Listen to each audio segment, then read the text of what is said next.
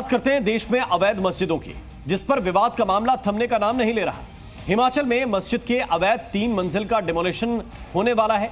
वहीं उत्तराखंड में अवैध मस्जिद का ताज़ा मामला सामने आया, जिसका वीडियो भी सोशल मीडिया पर वायरल हो रहा है।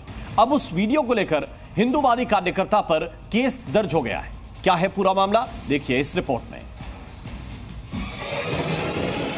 अच्छा। ये दिखा दो। उत्तराखंड में एक बार फिर अवैध मस्जिद को लेकर माहौल गर्म हो। गया तो यहाँ पे कलमट पिथौरागढ़ में अवैध तरीके से मस्जिद बनाई गई जिसको लेकर पूछताछ करने पर हिंदूवादी कार्यकर्ता पर ही केस हो गया है। नाली के ऊपर अवैध तरीके से मस्जिद बन गई और जब रजिस्ट्री के कागज़ पर सवाल पूछा गया तब मौलवी ने कहा कि किसी अब्दुल्ला ने कागज़ दे दिया और उन्होंने मस्जिद बना दी। इसके कागज़ है आपके पास मस्जिद के? मस्जिद के जो क्या कागज़ है इसके? रजिस्ट्री के कुछ हैं? रजिस्ट्री तो यहाँ किसी की है नहीं मेरी नाम नहीं ये किसके परमिशन? चलो घर तो एक अलग चीज़ है। आपने ढांचा यहाँ पे बना दिया जो धार्मिक ये किसके परमिशन से बनाया है? कुछ है? परमिशन वो कागज़ है हमारे पास। कौन किसके हैं? किसने दिया अनुमति? जो हाँ जो अब्दुल अजीम ने दे रखा सुना आपने न सरकारी रजिस्ट्रेशन की ज़रूरत न किसी परमिशन की। बस किसी अब्दुल्ला साहब ने कह दिया और मस्जिद बनकर तैयार भी हो। नहीं सरकार का चाहिए हमें तो। सरकार का तो सब तभी रजिस्ट्रेशन होगा जब जब तो नहीं है तो ये कैसे संचालित हो रहा है? यहाँ पे किसका विरोध हुआ था कभी?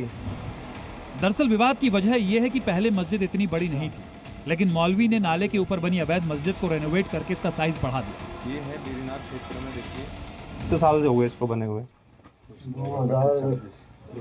पच्चीस छब्बीस साल। छब्बीस साल। तो अवैध मस्जिद को लेकर वीडियो वायरल हो गया जिससे अवैध अतिक्रमण पर प्रशासन की उदासीनता की पोल खुली तो पूछताछ करने वाले पर ही केस हो गया। हम लोग गए थे वहाँ पे पूछताछ करने के लिए नॉर्मली एक कि ये जगह जो है लीगल है या क्या है हमने उस पर पूरा लाइव पे पूछताछ करी है जो कि बहुत सभ्य तरीके से हमने किया था।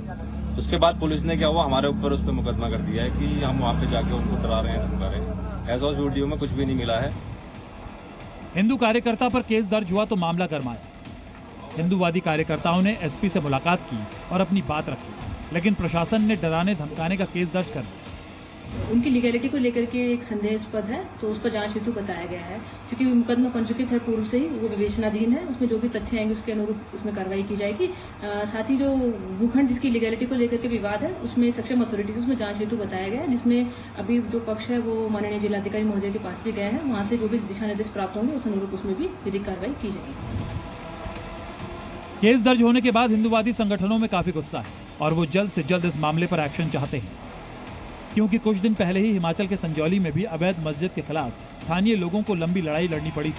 कई दिनों तक विरोध प्रदर्शन चला, हंगामा और लाठीचार्ज भी हुआ। तब जाकर कोर्ट ने मस्जिद के अवैध हिस्से को हटाने का फैसला सुनाया। अब देखना होगा कि उत्तराखंड की धामी सरकार अवैध मस्जिद पर जल्द एक्शन लेगी। या हिमाचल की तरह उत्तराखंड में भी हिंदुवादी संगठनों को सड़क पर उतरना होगा। रिपोर्ट, जी मीडिया। ऊपर